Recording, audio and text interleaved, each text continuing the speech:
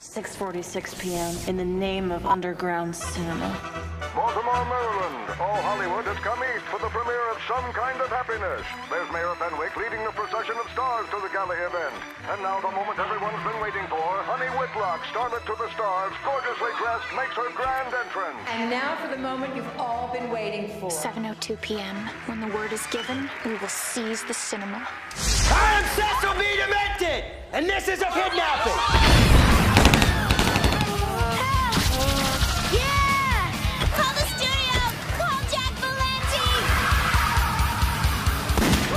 Hello, Miss Whitlock.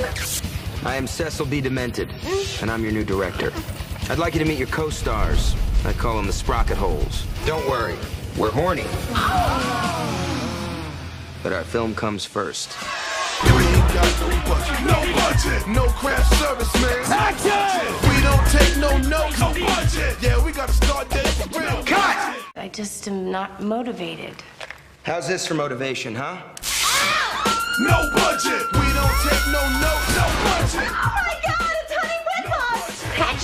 Not deserve a director's cut. The first one was long enough. Honey Whitlock was always attracted to the wrong kind of man. She'd do anything for sex. This is a go. No budget. Cecil B. Demented, you can never stop Hollywood. You're one of us now. You know what to say. You stink, Honey Whitlock!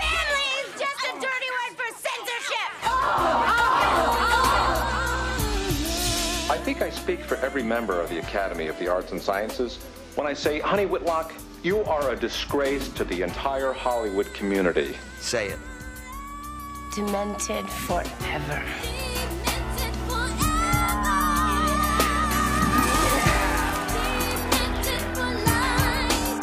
I'm ready for my close-up, Mr. Demented.